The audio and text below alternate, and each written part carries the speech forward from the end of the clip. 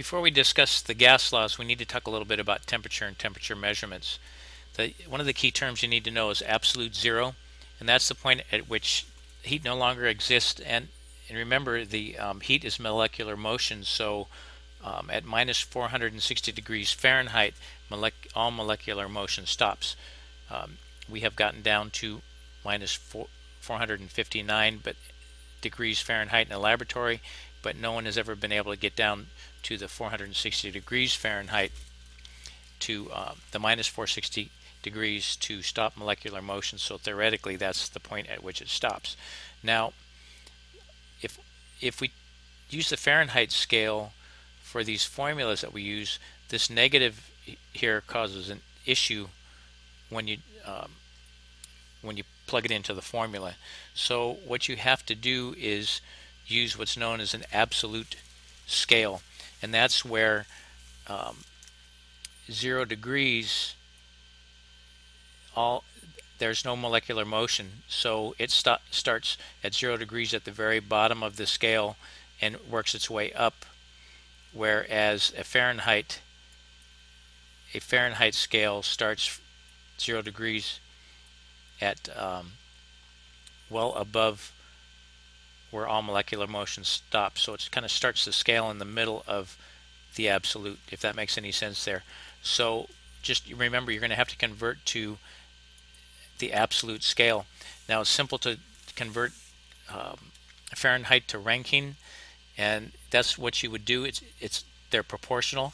So what that means is if you have if you want to convert from Fahrenheit to Rankine, you add 460 degrees Fahrenheit, and if you want to convert back, you subtract 460 degrees Fahrenheit.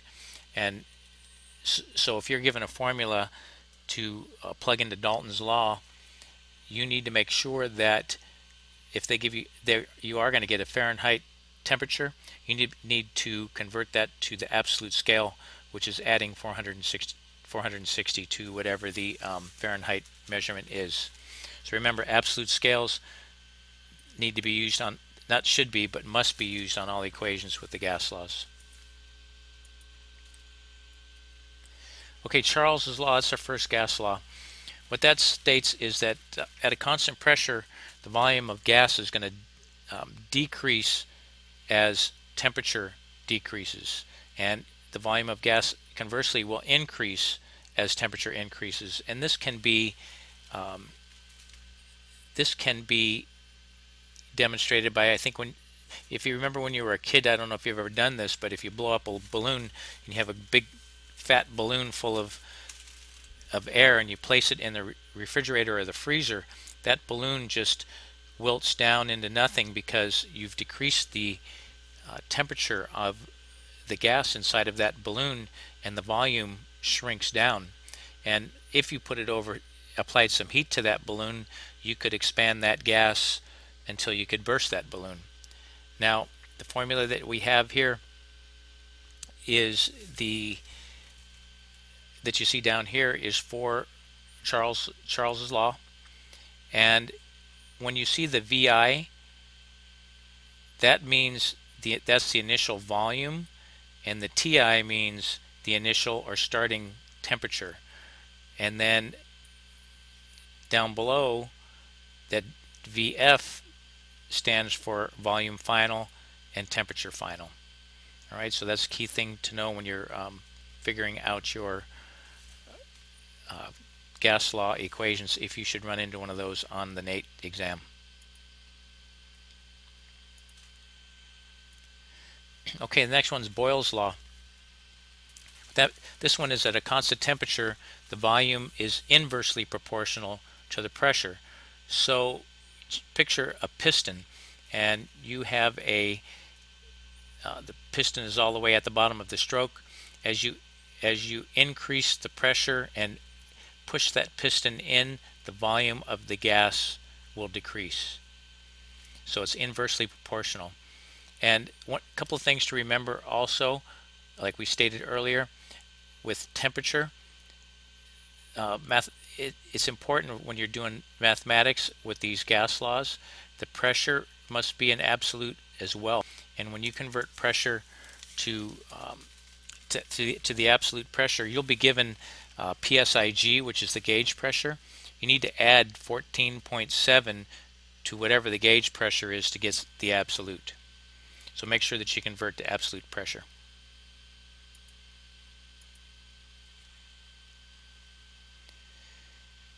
Okay, this is um, Boyle's law again is if you inverse, it's inversely proportional. So if pressure increases, the volume decreases.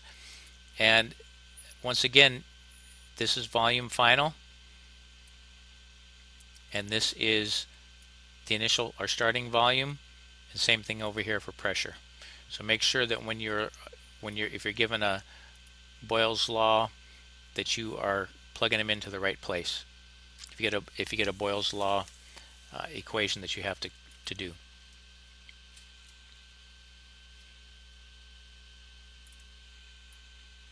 Okay, com combined gas laws. That's Dalton's law and Boyle's law put together. And what this means is if, if you compress a gas to reduce the volume, the pressure and the temperature both will increase. And, and this is how air conditioning works. So when you compress the refrigerant in the compressor, um, the pressure increases and so does the temperature. So then the on the flip side of the air conditioning system, when you expand the gas or reduce, it reduces the pressure and reduces the temperature as well. So that is combined gas laws, the formula you see here below. Once again, the I is for starting or initial, and the um, F is for the final volume, pressure, and temperature. Dalton's law. This is one, this pertains to air conditioning as well, and this is the law of partial pressure.